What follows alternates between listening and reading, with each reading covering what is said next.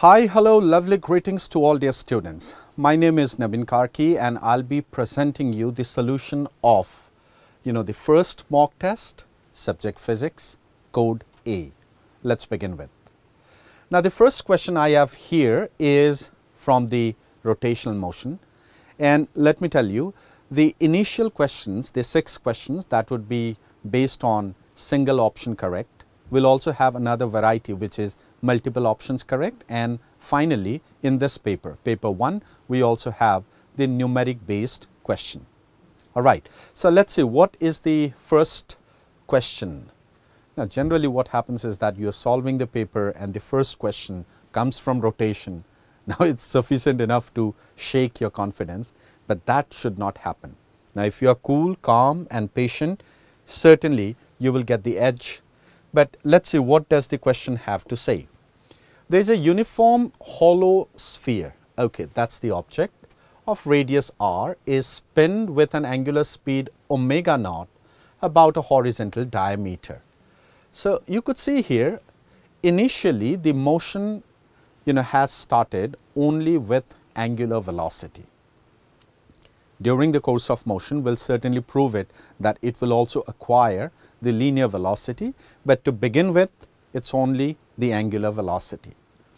And the surface is rough, the coefficient of friction has been given, okay, that is mu.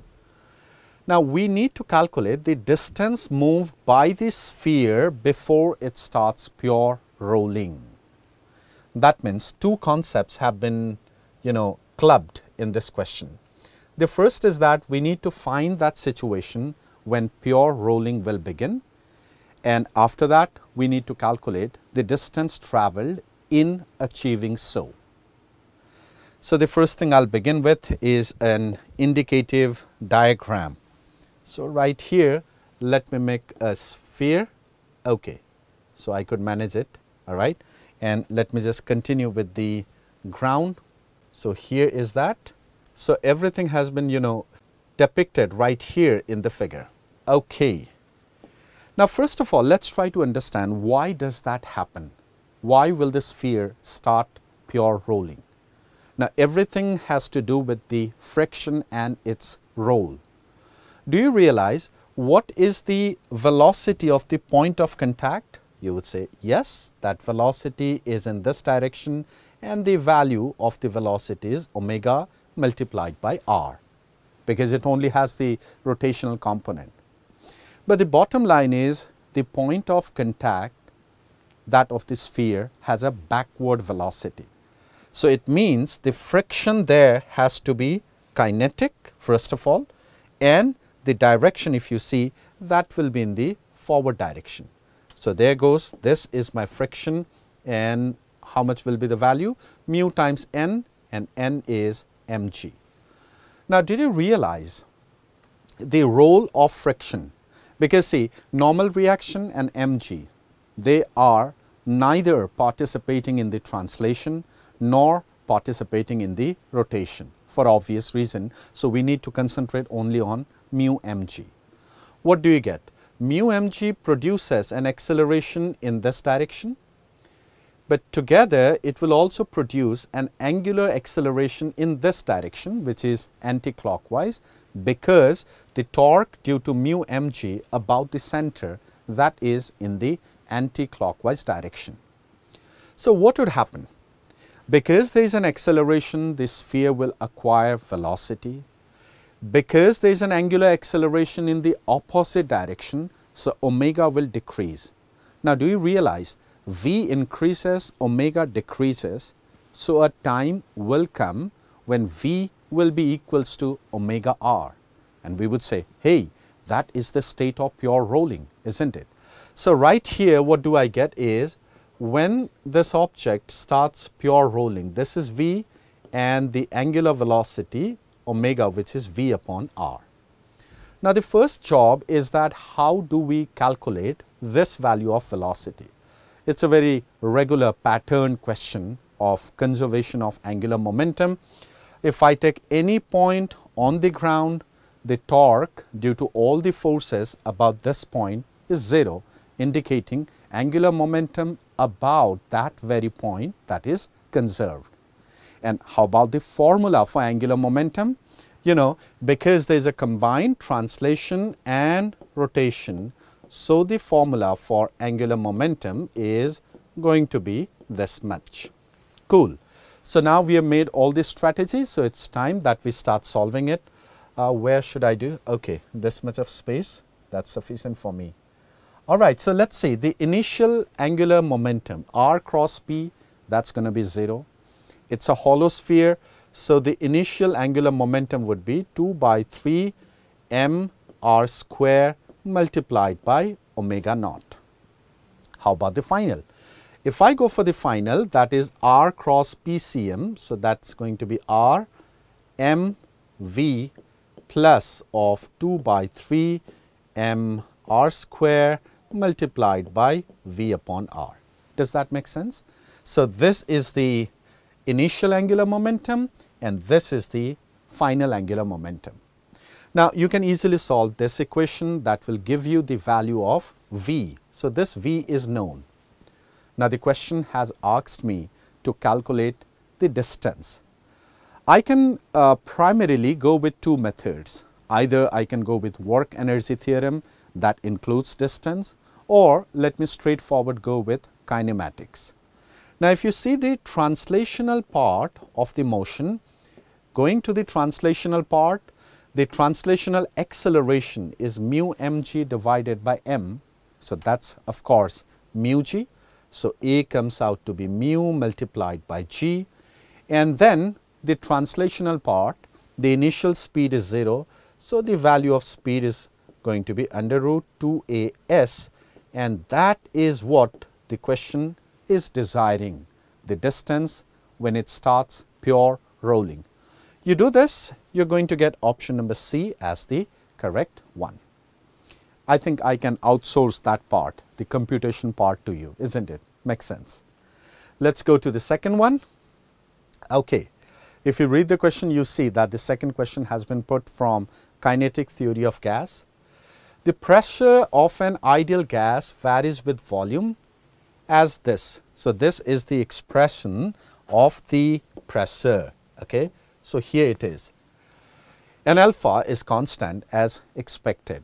The pressure at which temperature attains its maximum value. In other words, we need to search a condition where temperature will be maximum.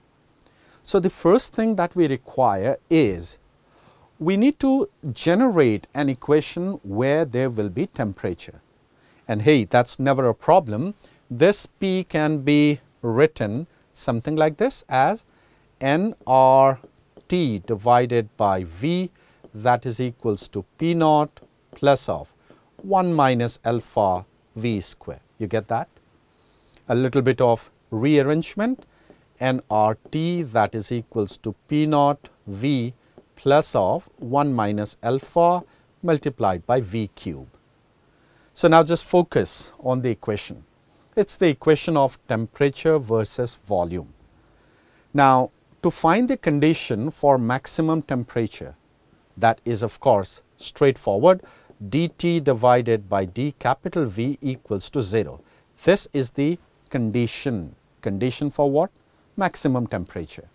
So, if I go with this, this is going to be nR dt by dV that is equals to P naught plus of 3 1 minus alpha V square. So, we have just differentiated this equation with respect to volume and yes, you need to equate it to 0. So, guys, this gives you the condition, okay, the condition when temperature is maximum. Now, you need to put this condition right here because the question has asked us to calculate the value of pressure. So, here is that pressure, right. So, you put this particular condition there, you solve it, it is an easy computation, not much difficulties there. So, when you do that, you are going to get option number B as the correct one. Now, you might be thinking that how did I go with such fast calculation? It is not. Before the recording, you know, I made a point to solve it so that I can save your time, not making you engaged into these calculations. All right. Let us go for the third question. The third question is from electrostatics and more specifically capacitor. What does the question have to say? Three conducting large plates each of area A are arranged parallel to each other at equal separation which is d. Plate 1, 2 and 3 are given charges this much. So, let me first put the charge. Okay. So, this guy is given the charge 7q and this is given a charge 3q and this is given a charge 2q. Okay. Thereafter, the space between the plates 1 and 2 is filled with a dielectric of dielectric constant 2. So, that has been given. And the plates 1 and 3 are joined by conducting wire. So, the moment I connect plate 1 and plate 3, so what does it give? It gives us the condition that these two plates 1 and 3 are equipotent. Their potential is equal, right?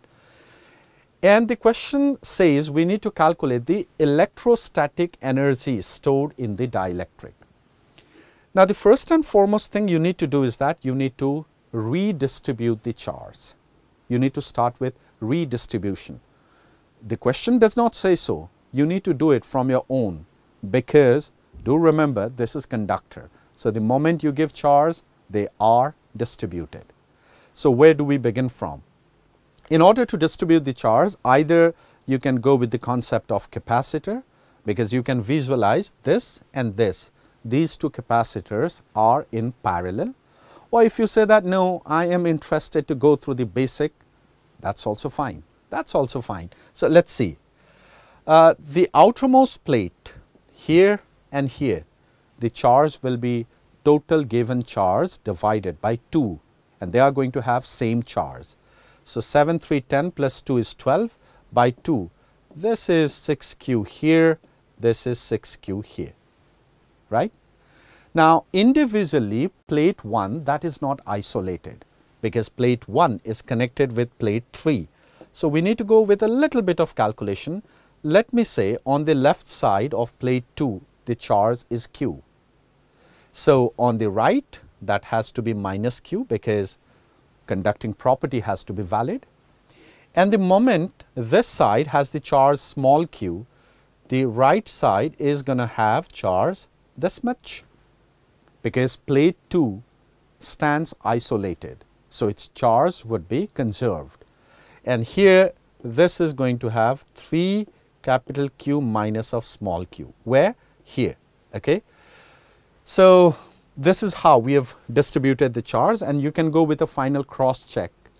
You add the total charges of plate 1 and 3, it has to be 9 q because that has been supplied. So, let us say let us go for a quick uh, verification. This outside is 12 and you could see this q would get cancelled and minus of 3 q that is 9 q. Now, the big job is that how are we going to calculate the value of small q? Now, to do that, let me go through this basic that potential difference of 2 with respect to 1 has to be equal to potential difference of 2 with respect to 3. Why? Because this is common and these two anyway are equipotent. That means potential difference how would we define? That would be electric field multiplied by the distance because the electric field is uniform here. So, how much will be the electric field in this space. So, guys here is that electric field and that electric field is going to be q divided by epsilon naught A and do not forget the dielectric constant 2 because E by k that will be the electric field multiplied by d and here the electric field is going to be this much and then that is going to give you 3 capital Q minus of small q divided by epsilon naught A, no dielectric and yes the separation is D. So, this equation is going to give you the value of small q. The moment you get the value of small q, Now, if you want to find the energy, either you can go with the concept of energy density and multiply it by the volume or you can simply say that, hey, I am going to approach it by the concept of energy stored in the capacitor, which is equivalent, isn't it? So, let me just show you through the energy uh, of the capacitor. So, the capacitance you can find and that required energy is going to be q square by 2c. Now, how much is the capacitance? Let me not joke because that is k epsilon naught A divided by D, right. So, you solve this and you are going to get option number A as the correct one.